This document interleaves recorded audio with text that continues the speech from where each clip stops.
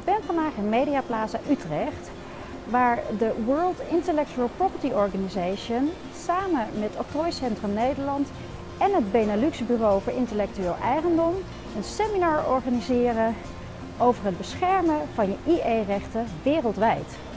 Maar wat is WIPO en wat heeft de Nederlandse ondernemer hieraan?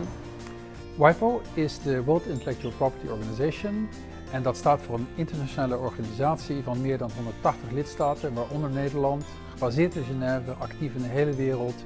Wij helpen onze lidstaten om intellectuele eigendom overal ter wereld te beschermen. Wij uh, bieden aan de, de mogelijkheid om octrooien te registreren via Genève, om daarmee internationale bescherming te krijgen. We hebben een soortgelijk systeem voor merken. Wij handelen ook geschillenbeslechting af. Kortom, een Nederlandse ondernemer die de internationale markt op wil gaan met zijn intellectuele eigendom komt meestal via WIPO eh, de markt op.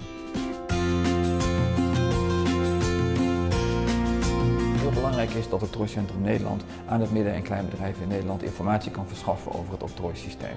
Naast het verlenen van octrooien geven we heel veel informatie over de procedures en over de manier waarop je ook buiten Nederland zaken kunt doen, waarvoor je dan ook vervolgens vaak octrooibescherming nodig hebt.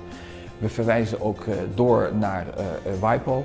En dat is heel zinvol omdat we dan in de eigen landstaal relatief dicht bij huis ondernemers kunnen informeren over de mogelijkheden die WIPO hen, hen kan bieden. We spelen ook een intermediaire rol uh, in inhoudelijk opzicht, omdat we kijken naar de uh, aanvraag die uh, is opgesteld. We checken die aanvraag. We communiceren daarover met het betrokken midden- en kleinbedrijf en dan kan de aanvraag worden doorgestuurd naar WIPO.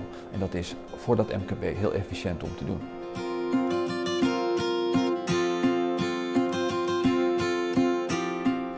ik ben in ieder geval aanwezig om te netwerken en om te kijken hoe patenten internationaal gezien werken. Ik ben hier vandaag aanwezig omdat ik sociale ondernemers wil adviseren over hun IP-strategie. Ik ben een boekje aan het schrijven over digitalisering in het MKB. Uh, vanuit mijn werk, uh, we bouwen grote websites, help ik veel MKB'ers uh, te digitaliseren. Ik krijg vaak vragen over bescherming van het idee, dit is de beste plek om daarover te leren. Dit was een interessante middag met een grote diversiteit aan bezoekers. Het is erg belangrijk om je goed te laten informeren over het beschermen van je IE-rechten. Om veilig zaken te kunnen doen in Nederland, maar ook over de grens. Wil je meer informatie? Bekijk dan onze website of neem contact met ons op.